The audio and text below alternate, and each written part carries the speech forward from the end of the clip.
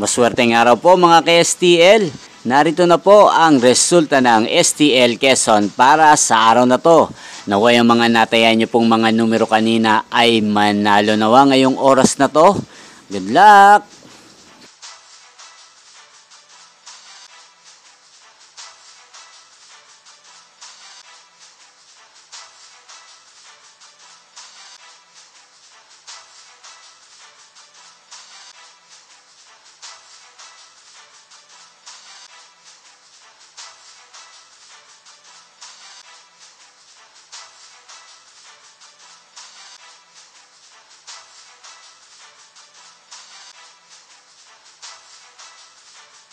Congrats po sa lahat ng mga nanalo. Maraming maraming salamat po sa patuloy niyong panonood sa aking channel. Huwag pong kalimutang mag-subscribe. Thank you for watching.